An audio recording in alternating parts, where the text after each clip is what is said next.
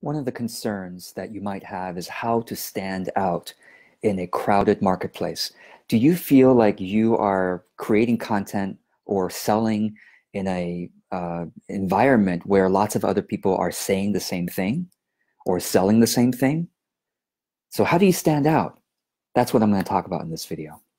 So the the bottom the the sort of philosophical foundation of this, I'll, I'll start there, is that you don't is is this to stand out in a saturated environment you need to care more than others are willing to care. You need to love more than others are willing to love. Now that's what i would say. I'm sure other marketing consultants and uh, business advisors will say something else right? But this is what i'm going to say to you care more than others are willing to care, love more than others are willing to love. And if you do that, you will stand out. So whether you are selling a product, oh, 10 million other people are selling this product, but this person cared enough about me to really connect with me, to find out more about me, to really serve me without feeling like I was being sold. You've got my business.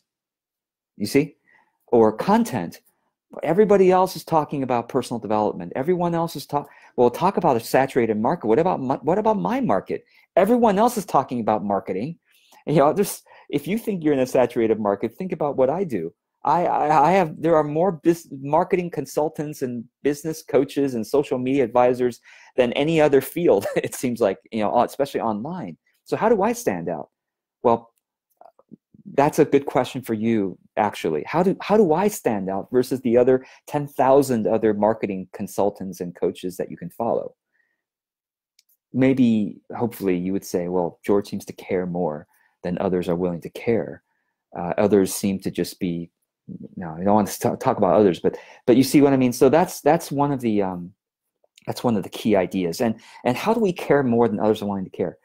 Do you care enough to show up enough.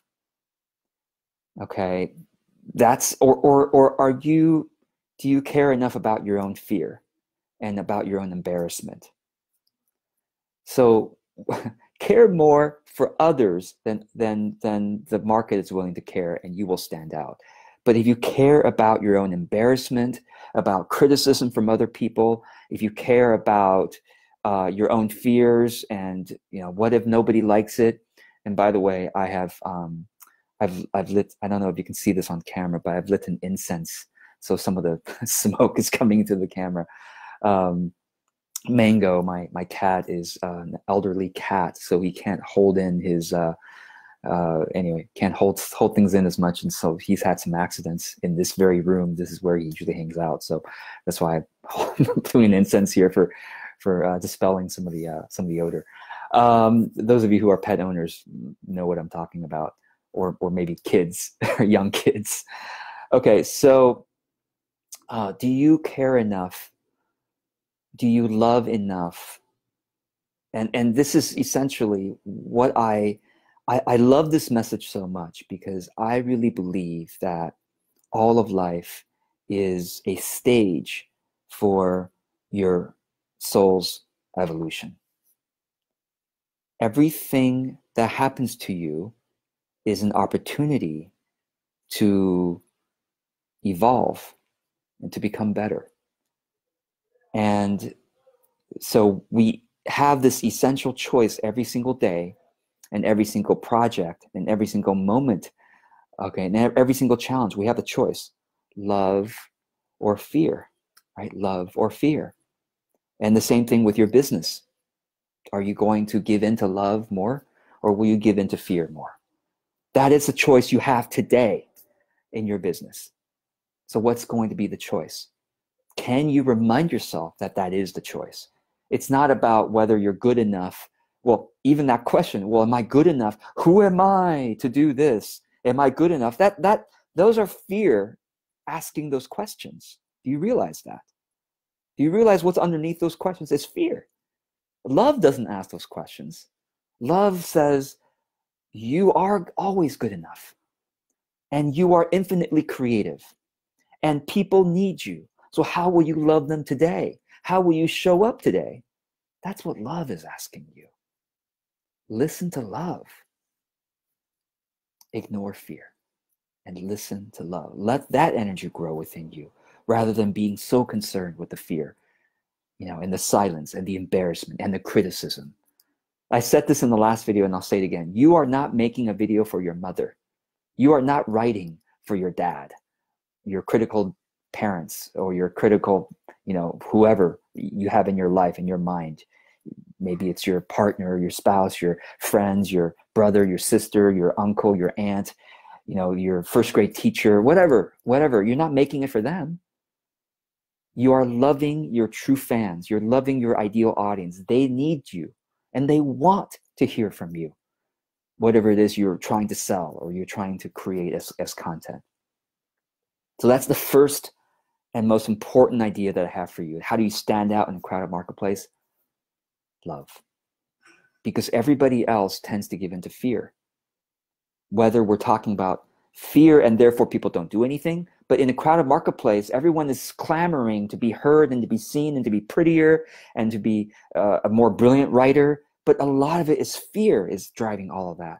And of course the, the, the manipulation that you see and experience in marketing when people are trying to sending you all these emails and you're trying to strong arm you into buying you know scarcity last minute things and whatever those those are fear and so if you stand out with your love you will be unique no matter what and okay so that's the first idea okay that's that's the first idea the second idea is, or the second question really is, well, is my voice even needed when we talk about content, right? There are so many popular bloggers and vloggers and thought leaders and celebrities out there in my field. Why do they need my voice? I'm not, I don't even say it as well as they do. Why, why did, why am I needed? Right? Everything, everything I want to say, they've already said, and they said it even more brilliantly. Okay? So why am I needed? All right. So what whoever Oprah, Tony Robbins, I don't care, Brene Brown, Byron Katie, uh, Eckhart Tolle, I don't know who your uh, hero is or what your field is, let's say. But let's say you're in, the, you're in the same field as Brene Brown. You talk about vulnerability, you help people through uh, with more courage, etc. Brene has already said it more brilliantly than you could. So why are you? Why do you even bother? Why? just go home or stay home, right? Brene's already said it. You know, Eckhart Tolle's already said it. Those of you who are spiritual mentors and teachers, Eckhart Tolle's already said it. Michael Singer's already said it. You know, everyone's Jesus already said it. Buddha's already said it. Why, why, why do any of us bother? Because, because nobody has had your life experiences. Nobody has had the combination of your life experiences your personality, your specific challenges that you've been through, and in the context of your world today, you know, whatever day, month you watch this, whatever's happening in the world, whatever you're going through, nobody has had that combination of emotions and thoughts as you and experiences as you. So, you know, Brene Brown can tell her story and can tell the story of her clients you, my friend, need to tell your story. Brene Brown is not telling your story. Only you can tell your story. Only you can talk about what you've been through and therefore the lessons that you can share from what you've been through. And that's authentic because you're talking about what actually happened.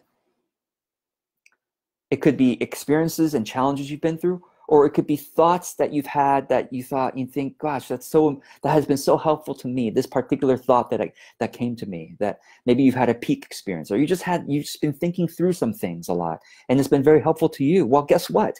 You need to share that because the way that you share it is going to be different than fill in the blank thought leader is going to share it. Just by you opening your voice you opening your mouth or putting your fingers to your keyboard it's gonna come out differently. It's gonna be unique. And your true fans, there are 4 billion people, which just to 4,000 million, a million people is a lot, right? A million people, you, you could never talk to a million people if you even if you tried individually for the rest of your life. You just don't have enough time. A million people is a lot of people. Now take 1 million and multiply that room of 1 million people by 4,000. 4,000 of those 1 million is how many people are on the internet. Through Facebook ads, you are able to reach half of them, 2 billion people, 2,000 million people. And by the way, there's some people doing some stuff outside my my uh, my window right now. I can't close the window because I'm on Facebook Live, so hopefully hopefully it's not too loud for you. Um, so there are so many people that some of them will resonate just with what how you say things and just with what you say okay there are some some people who will resonate with that more than they'll resonate with Brene Brown or Eckhart Tolle or fill in the blank thought leader that you think, well, they've already said it. Oprah, Tony Robbins, Marie Fo, whoever. There are some, did you know this? There are some people who will resonate with you more than with them. Now, it's your job, it's your opportunity to reach them. And you can do that through Facebook ads. You can do that through Google ads. You can do that through Instagram ads. You can do that through partnerships. You can do that by showing up more frequently than they are willing to. I, there are so many ways you can do it. But the key is to show up. The key is to show up. Now, you might say, well, George, what I want to say has already been said, and I just feel like, why do I need to add my voice? I mean, okay, maybe I can tell my story, and that's maybe that's a little unique. But what about some thing I want to say? Take care of yourself. You know, self care. Everyone else is self self. Everyone else is self care. Why do I need to say the same thing? Here's why. Here's why. How many people are still not taking care of themselves? I'm just talking if you if you work in self care, or if you work in I don't know. Um, uh, give me a topic that you work in. Put comments below. What do you what do you what do you help people with? Comment below. Now let me ask you this question. Does everyone you talk to about what you talk about have they already solved that problem perfectly? Do they already do it well? So I'll just I'll just use my own example. I one of my core messages, one of the key topics I talk about is showing up, as you can see in this video. Who else? Everybody else. Gary Vaynerchuk says it 50 times a day. He has so much content, right? Gary V has tons of content. He talks about showing up uh, 50 times a day on all these different channels. Why does George Kao still need to say it? Why? Because you still aren't showing up. That's why I need to keep saying. I'm going to keep saying what what this message of showing up, just like Gary will say it, just like Tony Robbins will say it, just like Marie Forleo will say it, just like fill in the blank marketing business thought leader will say it. Everyone's saying the same thing. Everyone is saying the same thing. Show up, right? So why do we all need to keep saying the same thing? Because you aren't doing it yet. I'm, when I'm saying you, I mean some of you, you know, and, and probably all of us aren't showing up in some way that we want to show up, right? So that message is true for everybody. I'm sure I'm not showing up in ways that I want to show up yet. You know, I can always improve. And so why do you need to keep saying something that everyone else is saying?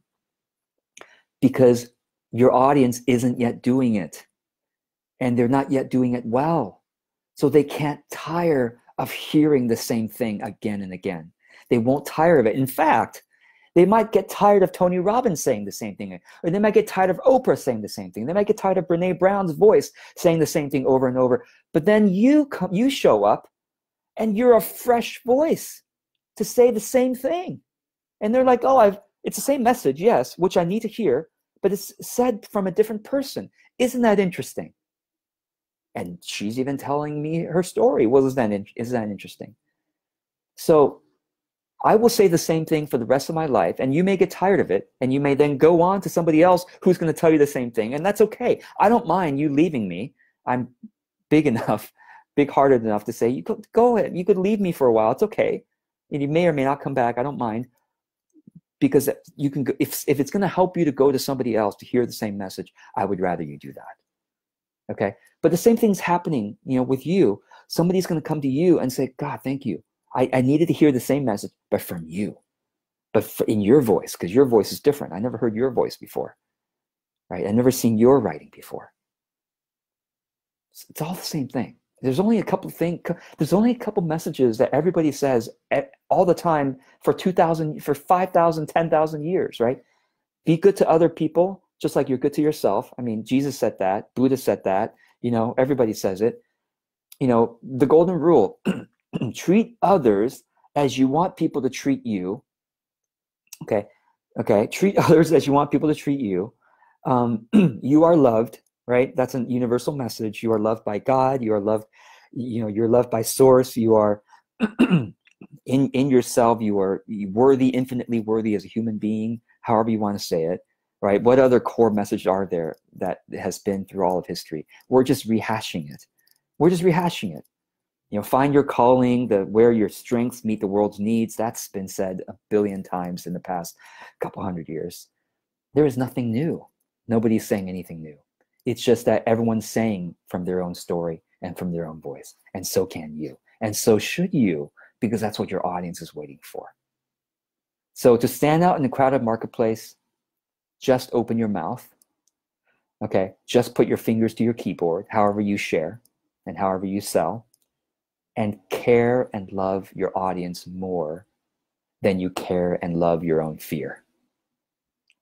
That's it. I hope this is helpful. And as always, I'm open to your questions and your comments. And I hope um, I hope you will go ahead and take this message and take action. And thanks those of you who are showing up here, uh, Captain and Stacy and Miriam, Shweta.